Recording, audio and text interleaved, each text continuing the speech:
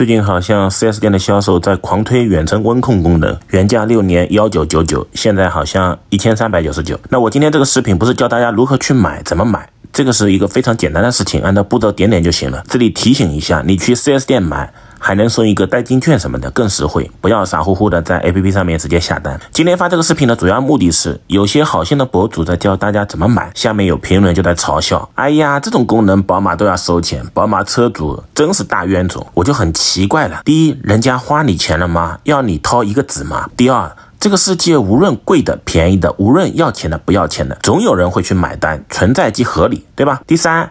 按照这些喷子的逻辑来说，远程温控应该标配，不应该掏钱。我国产上都有，或者我的车上都有，你没有，你宝马没有，你就是冤种车主。你的车企就是黑心厂家。那按照这个逻辑来说，有些车子车漆颜色也要收钱，是不是也是黑心厂家？车主想要一个白色的车漆，要另外掏八千块钱，是不是更大的冤种？标配黑色不掏钱，白色加八千，而且在日本、在美国，白色还不用掏钱，这是不是不但是冤种，还涉嫌歧视了？所以宝马的车主能不能说，哎呀，你们这种大冤种车主，车漆也要收钱？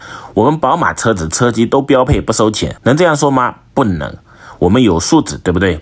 所以存在即合理嘛，总有人愿意为了车漆去买单，就像总有人为了这个远程温控去买单一样的道理，懂这个逻辑吧？就像以前宝马的电车送充电桩的，其他的很多车型它是不送充电桩的。那宝马的车主可不可以这样说？哎呀，你们买个电车充电桩都不送，真垃圾！没必要这样说别人，对不对？别人愿意接受自己花钱去买个充电桩，可以呀。所以这种事情说起来就很多。你说宝马的温控，我就说你的车漆，对吧？说来说去有什么意思呢？大家可以上懂车帝了解各种有趣的汽车节目、汽车知识。就像大家车子都是四个轮子，都是只能在路上跑，又不能在天上飞，为什么宝马卖的就比你那个车会贵一点呢？那倒不是说贵的就一定好。便宜的就一定差，而是我们可以选择尊重这样的规则。你不认可这样的规则，你不去买它的品牌不就好了吗？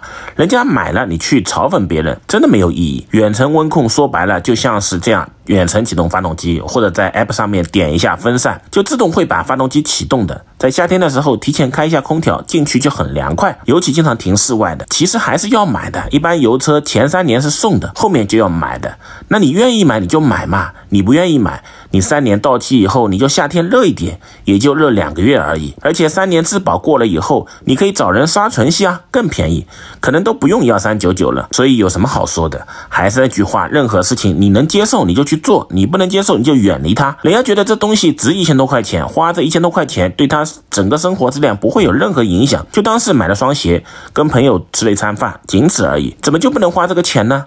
花了就是大冤种了吗？